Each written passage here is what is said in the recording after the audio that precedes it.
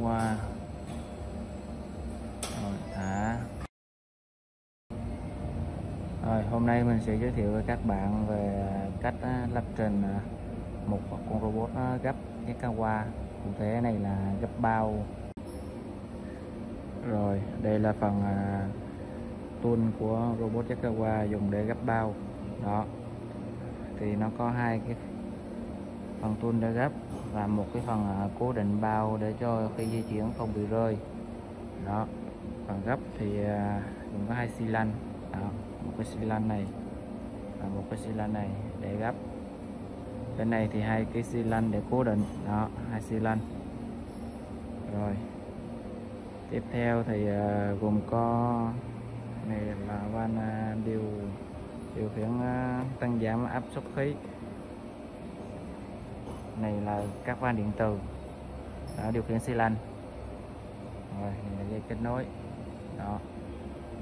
Đó là phần cơ bản của một tuôn gấp của Yakawa ok. Thì à, trong phần à, in ao, á, thì phần ao là phần à, ao một á, sẽ là phần gấp. Ao 2 là phần xi lanh đề đó thì chúng ta vào à, bán dạy thì chúng ta sẽ lưu à, điểm xuất out ra. Thì theo thứ tự. Ok rồi. Đầu tiên thì chúng ta sẽ tạo một chương trình à, à, gấp bao. Rồi chúng ta sẽ vào job. Chọn create new job. Rồi đặt tên chương trình. Thì mình à, sẽ đặt là robot gấp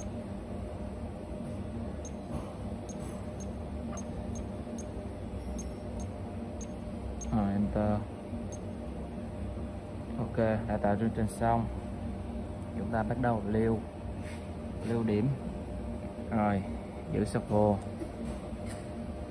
ok, chúng ta sẽ lưu điểm ngay vị trí đó, chúng ta sẽ lưu điểm đầu tiên.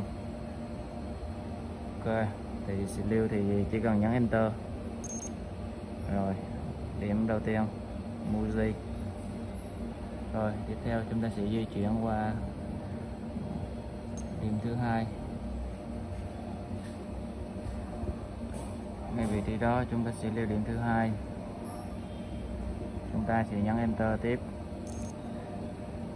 Rồi, bắt đầu. Bắt đầu chúng ta sẽ vào in out để kích mở van các xi lanh để mở bắt đầu chuẩn bị tư thế gấp thì chúng ta sẽ chọn vào inform list. Này, phím inform list. Rồi, trên này thì nó có phần inbox outbox ta chọn vào inbox outbox đó. Chọn outbox rồi, thì chúng ta sẽ chọn à, đầu tiên thì chúng ta chọn ao 1 rồi ao 1 on. Ok. Thì gồm gồm có hai phần. Một phần gấp và một phần à, giữ. Nên là giữ bao cho khỏi uh, di chuyển lên vị trí. Còn có hai phần thì hai phần ao. Ta sẽ chọn hai phần ao. Ao hai ok. Rồi tiếp theo ta sẽ xuống di chuyển điểm xuống để gấp.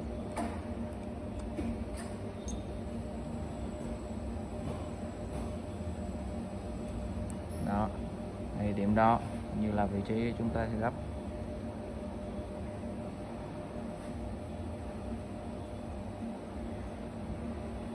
Thì chúng ta sẽ lưu điểm ngay điểm xuống.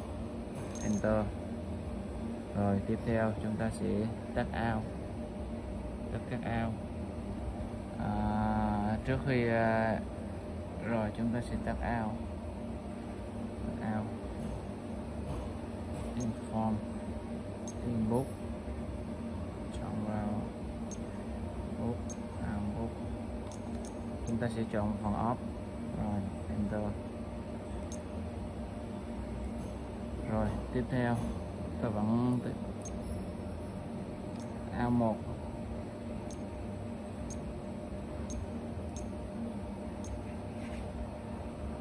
rồi, sau khi ao xong thì à, là robot đã gấp gấp được bao. Thì chúng ta sẽ trong thời gian đó gấp thì mình sẽ cho nó chậm lại khoảng 2 giây. Thì mình vào control, vào timer. Thì mình cho nó dừng khoảng 2 giây để cho nó delay 2 giây cho nó gấp cho nó hoàn chỉnh, khỏi khỏi bị rơi ra ngoài. Enter. Rồi đó, trong timer 2 giây. Thì xong rồi. Thì chúng ta sẽ di chuyển lên. Di chuyển lên. Di chuyển lên rồi lưu điểm. Di chuyển qua vị trí khác để bỏ bỏ bao xuống. Đó.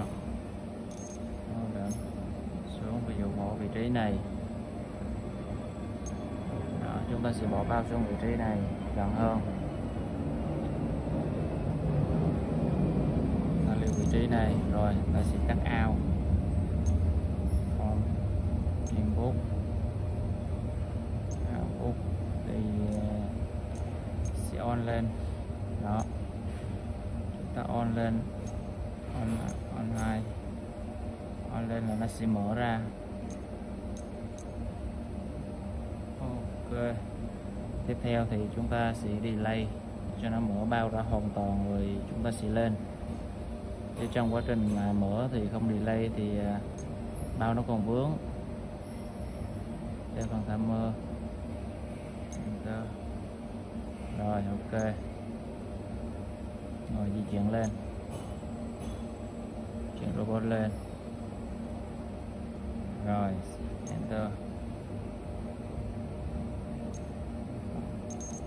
Ok, đó là xong các bước.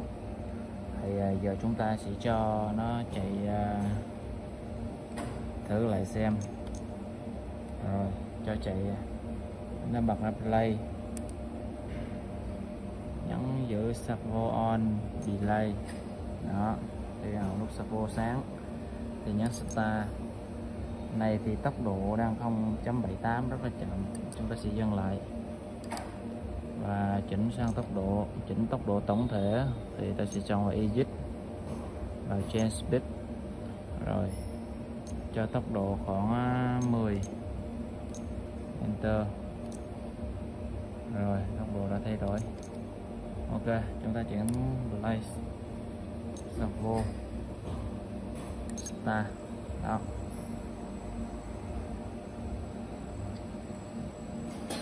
Gấp đó. Delay 2 giây lên. Qua. Rồi thả. Delay 2 giây đầu lên đó. Xong.